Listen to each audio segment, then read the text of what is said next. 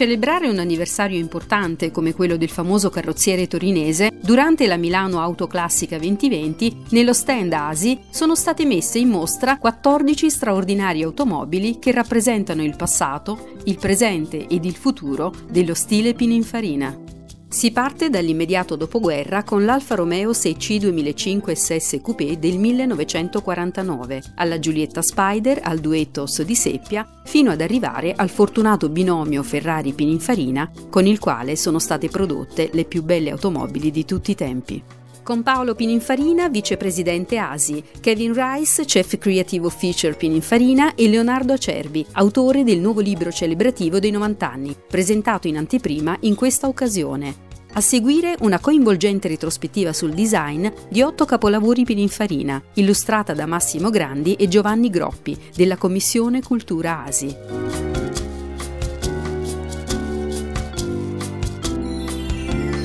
Presidente, ha appena detto, come diceva suo papà 30 anni fa, che dopo 60 anni la Pininfarina era ancora giovane, lo è ancora adesso. Cosa è stata Pininfarina per la storia del motorismo storico e cosa sarà ancora? Ma eh, sì, eh, diciamo siamo oggi qui eh, a Milano Autoclassica a festeggiare l'ASI, la ripartenza dell'ASI, la ripartenza della Pininfarina, la ripartenza del movimento automotoristico e per quanto riguarda la Pininfarina c'è questo anniversario, questo compleanno, questi 90 anni che eh, abbiamo voluto valorizzare, suggellare eh, prendendo, riprendendo il libro Pininfarina che fu fatto da mio padre nel 1990 per i 60 anni ed estendendolo fino al 2020, quindi eh, la Pininfarina diciamo che c'è stata dal 1930 in poi, quindi diciamo se l'automobile ha 120 anni, per 90 anni la Pininfarina c'era. E la Pininfarina è nata nel 1930 e nel nostro libro si vedono, si vedono capolavori che restano degli anni 30, 40, 50 e anche del dopoguerra. Ecco, diciamo che la Pininfarina ha fatto la storia dell'automobile, noi vogliamo essere qui fra dieci anni a festeggiare i 100 anni della Pininfarina facendo ancora altri dieci anni di capolavoro come quelli che abbiamo fatto. Erano tanti gli eventi in programma quest'anno per i festeggiamenti dei 90 anni, saranno posposti nel 2021? Un altro anno vogliamo assolutamente riproporre gli eventi più importanti che avevamo in programma. Purtroppo eh, sappiamo tutti che è molto difficile in questo momento dire se un evento sarà fatto all'inizio del 2021 o nella seconda parte del 2021, quindi non mi sento di dire delle date precise, però diciamo che al momento i due eventi che avevamo previsto nella parte diciamo centrale della stagione che erano Torino e Pebble Beach al momento sono confermati per il 2021. Nei suoi ricordi, nella sua percezione, quali sono le vetture secondo lei che rappresentano un po' le pietre miliari della storia di Pininfarina? Tre o quattro vetture chiave? Sì, allora, eh, 632 automobili. Non è facile fare una selezione. E sono quelle ufficialmente mostrate perché la Pininfarina ha fatto anche parecchio lavoro non ufficiale. Allora di queste 632 nel libro già ce ne sono 9 una per decennio sono poi le icone del decennio. Mi chiede di stringere il cerchio lo stringo allora vado una per generazione. Me ne, me ne lasci dire una per generazione che sono tre di quelle 9 allora, la Cisitalia come vettura diciamo che è manifesto della nuova architettura dell'automobile dopo la guerra, vettura che diventa un'opera d'arte in quanto finisce al Museo d'Arte Moderna di New York, prima automobile di sempre permanentemente nel 1960 ed è una vettura del 47 eh, Ladino 246 GT che qui tra l'altro presente anche qui in esposizione che è l'ultima diciamo di un filone che nasce con Ladino Benedetta Speciale del 65 poi Ladino 206 che rappresenta la prima automobile Ferrari fatta da mio padre senza mio nonno. L'ho scelta anche come ispiratrice della Ferrari Sergio.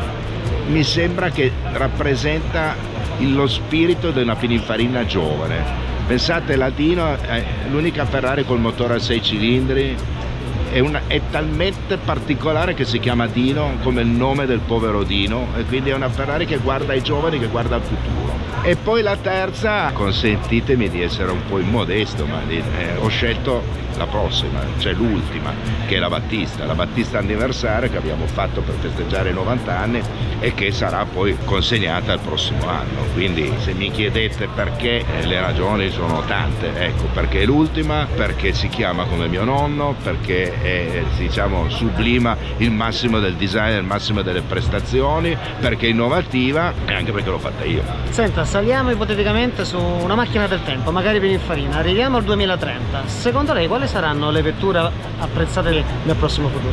Ma sicuramente ci sarà un'evoluzione dal punto di vista delle emissioni, quindi io penso che la tendenza verso l'elettrificazione e quindi diciamo, l'alimentazione a batterie o l'alimentazione a idrogeno penso che ormai siano assolutamente inevitabili, cioè io penso che gli anni 20 sono anni 20 di questo secolo, cioè quelli che sono iniziati quest'anno, saranno il decennio dell'elettrificazione e probabilmente comincerà anche ad arrivare l'idrogeno che probabilmente si eh, esprimerà di più negli anni 30 con nuova catena di trazione vuol dire nuove architetture e quindi tanto lavoro per chi come la Pininfarina fa innovazione.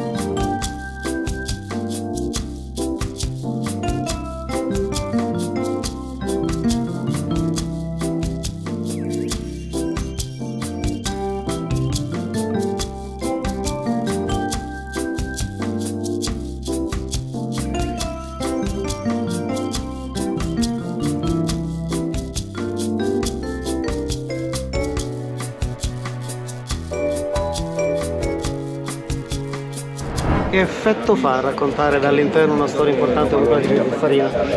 Eh, fa un bellissimo effetto perché raccontare una storia come quella di Pininfarina significa innanzitutto raccontare una grande avventura, tecnica, stilistica, ma soprattutto umana, perché dietro a ciascuna di quelle automobili, come ha ricordato il Presidente, ci sono innanzitutto delle personalità, delle grandi personalità in questo caso, quali quelle di suo nonno, di suo padre e ovviamente la sua. E poi significa ripercorrere in fondo una grossa storia storia artistica, ancora prima che di automotive o di motore, perché poi alla fine quando anche si pensa alla grande partnership con la Ferrari, ma noi oggi quando guardiamo la Ferrari del passato, con buona pace degli uomini di Maranello, con i quali va grandissimo rispetto, ma oltre a una straordinaria meccanica vediamo in primis una bellissima linea e questo glielo si deve agli uomini di Pininfarina. Qual è secondo te il futuro del design?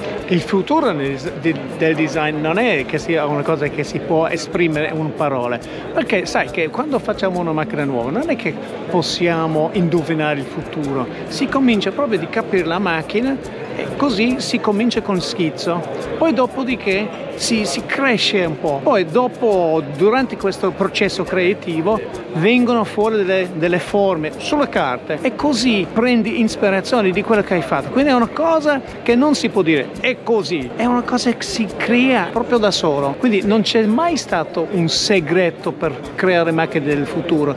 C'è solo una cosa, la creatività e il discorso tra te e il tuo idea. Senti, cambia il mercato, cambiano le motorizzazioni, si va verso probabilmente una mobilità sostenibile con l'elettrico. Secondo te quali possono essere i stili e i stilemi delle vetture che saranno le vetture amate nei prossimi vent'anni? In questo momento c'è un grande grande cambiamento nel mondo della macchina, quindi vuol dire in questo momento ci sono tanti che dicono beh allora una macchina elettrica non può avere una calandra e invece ci sono gli altri casi automobilistici che dicono no io voglio avere una calandra su una macchina di elettrico quindi però in questo momento ci sono pezzi dello stile che praticamente si applicano su tutte le macchine elettriche in questo momento che diventerà nei prossimi due o tre anni un po' troppo banale perché tutte le macchine elettriche avevano proprio lo stile uguale. In questo momento poi noi dobbiamo, anche il pubblico, cominceranno ad avere la voglia di avere qualcos'altro. Okay? Quindi adesso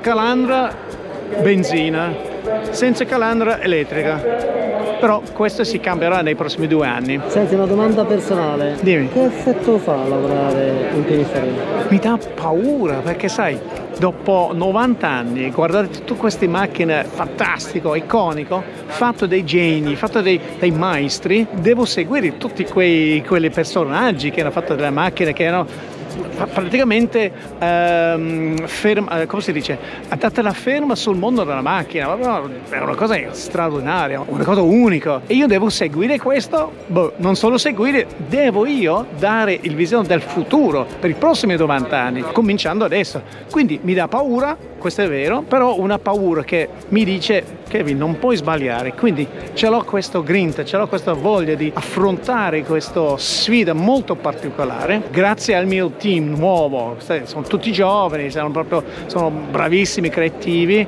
e con loro posso affrontare questa sfida. Di nuovo un'opera firmata Nada, una storia molto importante di un design che ha fatto la storia dell'automobilismo. Beh, parliamo probabilmente del più grande designer italiano, riconosciuto a livello mondiale, a livello planetario. Questo libro non è altro che un omaggio ai 90 anni della storia gloriosa storia della Pininfarina. Per noi è stato un onore, è stato un grande privilegio lavorare ancora con loro ed è il libro del nostro rilancio perché dopo alcuni mesi di lockdown dove non abbiamo prodotto nulla questo è stato il primo grande libro che ci rilancia sul mercato. Stefano, qual è secondo te il futuro dell'editoria specializzata come questa, come quella che tu curi da tantissimi anni? I collezionisti ci saranno sempre, i grandi amatori ci saranno sempre, saranno sempre di meno ovviamente, ma eh, il futuro sarà nostro compito coinvolgere i giovani e portarli nel nostro mondo. Magari saranno le old timer, non so in che modo, ma il libro fisico ci sarà sempre. Vorrei essere tu un giorno l'editore di un libro sulla nave Editori, sulla storia di nave? Non lo so, preferirei che lo facesse qualcun altro, però prima o poi faremo un omaggio a papà sotto forma di libro perché ha proprio una bella storia. Insomma. Quest'anno avrebbe festeggiato 50 anni di attività e quindi siamo ancora vogliamo fare altrettanto. Insomma.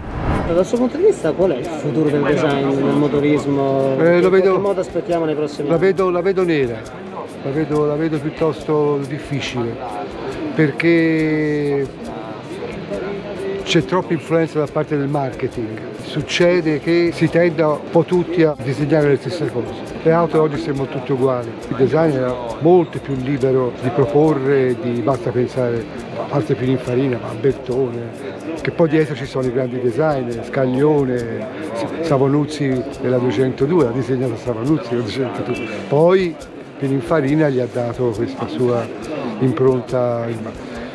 I designer una volta avevano molto più possibilità di esprimersi, perché c'era anche più coraggio da parte delle case costruttrici.